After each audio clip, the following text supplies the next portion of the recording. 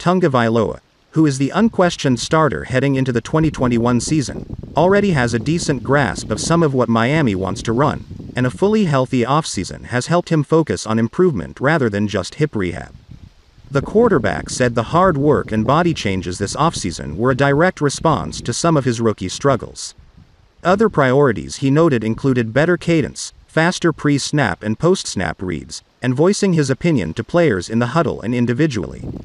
But some teammates said the Tagovailoa disrespect got out of hand this offseason. Tight end Mike Gesicki delivered an impassioned defense of Tagovailoa on Wednesday, questioning the criticism of the young quarterback and trade rumors specifically involving Houston Texans quarterback Deshaun Watson.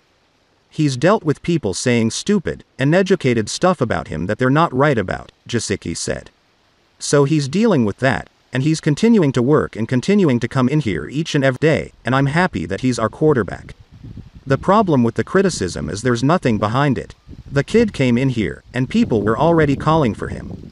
He played nine games, and he did a lot of really good things for us, stepped up in big situations, made plays, and I think got better each and every week, and now everybody's talking about his confidence and how he looks this year.